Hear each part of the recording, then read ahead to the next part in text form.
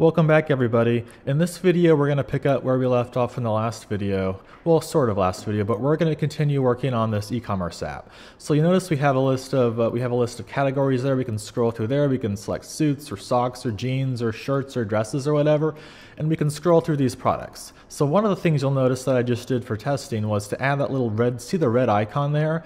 That icon will appear if it's on sale. So see how the jeans are on sale, but that's not on sale. That's not on sale. More jeans on sale there. Those jeans are on sale. I think we have other stuff on sale too. If you scroll to the bottom, yeah, those khaki jeans or whatever on sale. So how do we actually go about displaying only that red icon, or how do we display that red icon only if it's on sale? So in this video, we're going to do that, exactly that. So I'm going to go ahead and just, well, just, just so we understand, yeah, the red icon's only there if it's on sale. So those jeans are on, those jeans are on sale, so it's good. Okay, I'm going to go ahead and kill that. And if let's let's open up our project. I'm just gonna, gonna go ahead and close everything, and I'm gonna close that. Go into App, Java, Com. Uh, then what we need to do is we need to look for, I think it's main fragment. Yeah, so main fragment is where we're doing a little bit of, uh, we're like basically going to this URL and fetching some JSON. And I can actually go to that URL. So if I copy that and paste it into a browser, if we come here, this is what it looks like there. So we're basically, so if we go back to the app, you'll, uh, it closed it. But if you go back to the app, if you go back to the app, then you'll notice there's small jeans, there's black shirts, there's on red jeans. But you'll notice just a few minutes ago, what I added was this flag. It's called is on sale.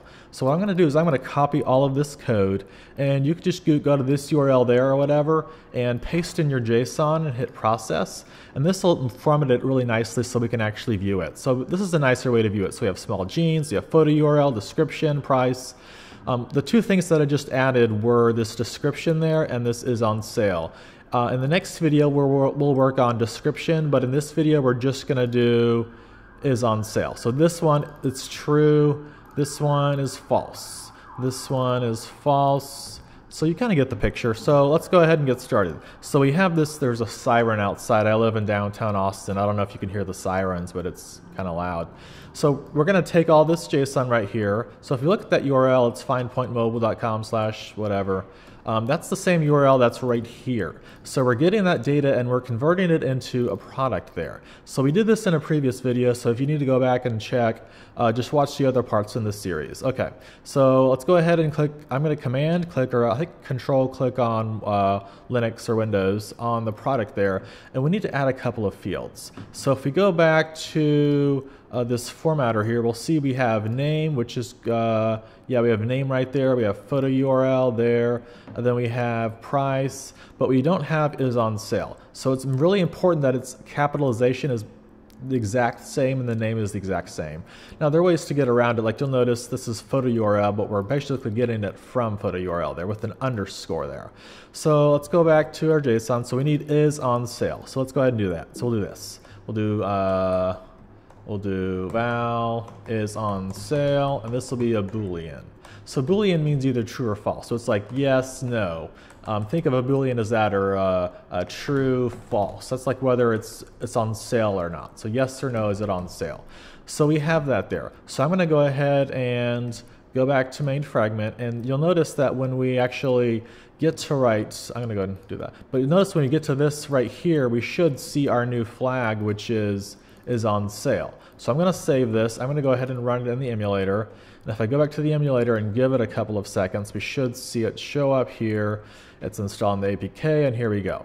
So we didn't see anything differently, but let's go ahead and do something else. So I'm going to, uh, so if you see next to line 30 there, see 30 or just somewhere around uh, this uh, layout manager there, I'm going to click right there and I'm going to put a red dot there. And what I'm going to do next is click right there to the attach to the debugger and click OK. Then I'm going to go back to the emulator and I'm going to go here and I'll just go to like socks or something or I'll go to shorts. Just what I think one of these is a different one. Settings maybe. Go back to home. You'll notice that it instantly takes you back into Android Studio. And you'll notice it stops. See where we have that red dot there? It stopped right on that line. So if you go back to the app, you'll see it's still loading. It's, it's pausing the app it's going to let us look at the app and say, hey, what's going on? So you'll notice at the bottom here, we have a debug tab right there. So I'm going to pull it up a little bit. And one of the things you'll notice is there are some variables here. If not, you could click the, the plus button there and type out products because that's the same products as right there. But we can we can inspect that. So we already have it open there. So um, if we click on products here, you'll see there are 22 items. And we can actually drill down inside of these and see, double click and see is on sale true. We have a, a price, we have the small jeans. The small jeans are on sale. That's yes, it's true. Then back for this, nope, not on sale. The next one, nope, not on sale either. Uh, this one, no. This one, yes, that's on sale. So we have stuff that's on sale. That blue shirt's on sale. Really cool. Okay, so I'm going to go ahead and just click the green button there. That'll continue the app. And if we go back to the emulator, you'll notice it finishes running. So I'm going to go ahead and close the debug, uh, the, de the debug tab down there, and I'm going to click again on that red to get rid of it. So we have our flag here. We just saw we have that is we have that we have that is on sale. So the next thing we need to do is let's go back to main activity and let's look for our adapter. So on our recycler view we have adapter. So let's go ahead and command click on products adapter. And here's kind of where we're setting up. And if you need if you need a refresher on what this is, there should be a layout somewhere. Uh, here it is. So if you command, yeah, search, look for r.layout.product row. If you command click on there, you'll see this is our layout here. So we're gonna put the we're gonna put the uh, the, the is for sale icon or that little dollar sign, the red icon. We're gonna put it right up there in the corner. Okay, so let's go back to products adapter, but just to just to make sure we have it down, I'm going to do something. So what we're gonna do is instead of uh, let's just go ahead and comment out that line. And let's do this. Let's do, um, we'll do, we'll kind of do the same. These do holder dot price dot text equals, and then we'll do is it on sale, and then we'll do dollar sign product dot is on sale. So that, I think this will, I don't even know if this will work because it's a Boolean value, but what I'm trying to do is I'm trying to basically say, um, we're just trying to like display it on the screen. So let's go ahead and run that. I don't even know if this will work or not.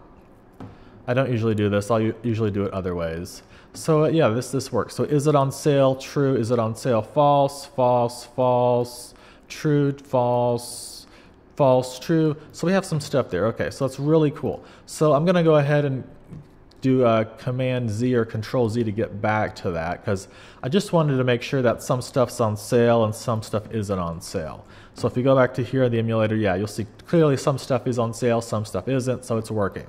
So let's do this. Let's do, let's do this. Let's do, let's comment that out one more time. Sorry, I'm just kind of going all over the place here. Let's do this. If, and then we'll do if, then we need to get our product, which is right there. So if product dot is on sale, then we'll do holder dot price equals dot text equals um, on sale. Uh, otherwise, we'll do else holder.price.text equals, um, sorry, so sorry not on sale. So this is a basic if statement. It's basically saying if the product's on sale, do that, do that line, or if it's not on sale, do that line. So I'm going to save it and run it and go back to the emulator. And this should say, that's in basic if statement. So on sale, sorry, not on sale. Okay, cool. So now, now let's do this. So we want to add that little icon there. So let's go, let's open up re, re, the resources file and let's go to drawables and we can right click and go to new and then we can do vector asset. And you might not see this icon because I because you haven't selected it before, but make sure clip art is selected and then right where it says clip art here, click on there. And you'll notice we have tons of icons here we can use. I mean, we can use all kinds of icons if we want like a, a world or arrows or we want like a, a conversation or we want, all these are free and open source. You can use these in apps. Any of these icons you can use in the app, in your app. So we might want a profile, we might want a, you know, a, somebody sleeping, we've got an airport, we've got a bus, all kinds of really cool stuff. So I think this was called, um, uh, I think it's money, yeah, money. So search for money and let's go ahead and select, you know, uh, let's see if there's a better icon for sale. I'm just going to look around a little bit, see if there's a better one for sale. I don't know, I should have done this before. We could, but literally, we can put in all kinds of icons. So I just want to look really quickly for one if it's on sale. I think that money one might be the best bet. I don't see another one that looks better. That kind of matches it. I don't think they have one for sale, no, or bank, or yeah. I don't know. We'll just go ahead and do the money Um, and then we'll do we'll do this. We'll do uh, yeah, we'll do that right. No, let's do let's just do the attach money. Let's do that one right there. So I'm going to go ahead and select it and hit OK, and then that's fine. Hit next, finish, and notice we have a new icon there. So that's the icon that we just added. So if we double click on that, we can see it show up right there, and it's kind of hard to see in the preview there. But if we change the color, we can change. Uh, let's do this. Let's change it to uh, so that means that's like the color value there. So we have red there, or you can always click on there and you can pick, you can, you know, do it whatever color you want to make it. It can literally be any color. So we can, you know, experiment. What color do you want it to be? Oh, a little bit darker. We can make it black. We can make it any color. So I'm just going to go ahead and select that right there. Um, and let's go back to our products row and we actually need to add it here. So we have our main image right there and this row is for every single product. So that's uh, that section, that's that section right there. That's our main photo. Okay, so right below our photo, what we're gonna do is we need to add this new icon. So let's do this. Let's do image view, and then we'll do wrap content, wrap content, and then we'll do this. We'll do uh, source equals, and then we have that new attach money. So just start typing attach money, and there we are. So it's complaining that we haven't um, constrained it yet. So what we're going to do is let's do this. Let's do left to left of parent, uh, then right to right of, or uh, top to top of parent. So I'm just typing a few characters out of it, but what you want is that right there. So just start typing left to left, and then it'll automatically pop up for you. So now it gets rid of that error, and we see we have that the, the, the dollar sign icon there. So I'm going to go ahead and run it. I'm a huge fan of running very often because stuff can go wrong and it's good to know that it's good to know that yeah so there, there's there's there's our icon. So now it's on all of them but we we don't want it on all of them. We want it if just if it's on sale. So let's do this. Let's give it an id so we'll do this id, uh, ID equals and then we'll call this um, a sale image view. So there we go sale image view. We'll give it an id and let's go back uh, let's go ahead and close that. We're done with that and we're done with that. And I think we're done with, uh, we'll keep it open just in case. So let's go ahead and put it back to how it was. So I'm going to go ahead and uncomment that line, and then I'm going to delete all these other lines. So we're back to there now. Okay, cool. So the one thing we need to do is, if it's on sale, hide or display that photo.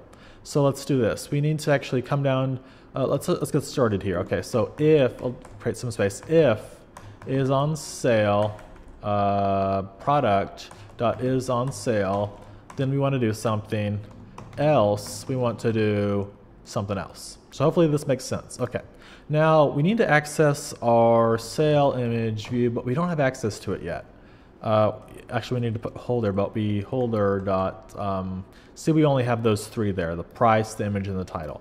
So let's go down to our view holder, which is down here, and let's do this. Let's do this. Let's do val. We'll do is on sale equals item view dot, uh, I think we call this sale image view. And that's a new way of doing it. We can also use, we could, we could have also used find view by ID, find view by ID, but this is a little shortcut where you just like type the name using uh, uh, Kotlin synthetics. So is on sale is there. Now let's go back up to here. Is on sale. If it's on, uh, actually, that's not what we want to do. Wait, what do we want to do? Oh yeah, yeah. Yeah, so is on sale. If it's on sale, dot visibility. So if it is on sale, view dot visible. Otherwise, we'll do holder dot is on sale dot. We should have named this. Yeah, we need to. So the names are confusing. Let's go ahead and rename that to sale, and we'll name the sale sale image view. So we need. To, I'm going to go ahead and copy that right there, and we'll add it there and there. That's a little bit confusing, but now it's a little bit better. Dot visibility equals view dot gone. So there we go. I'm going to go ahead and save it. We're basically saying, hey, so this image view right there, that little red, the red dollar sign, we give it an ID of sale image view. If that's on sale, we want to make it visible. Otherwise, we're going to make it gone. So I'm going to save it and I'm going to go up there and run it and let's see if this works. It could work, it could crash, who knows what's going to happen. And cool, so that's on sale there. That's on sale. We see the dollar sign icon. That's on sale. So cool, we actually have stuff on sale now. So I don't, um, it's a little bit hard to see, so I'm just gonna really quickly see if I can do something else. Um, there, you know I'm just gonna go ahead and leave it. I think it's good for good enough for now. In a future, but this video is kind of long, but in a future video, we'll continue working on this. Um, if you have any questions, I, I'm very busy, but I try to respond to some of them. So hopefully you learned something and I'll see you in the next video.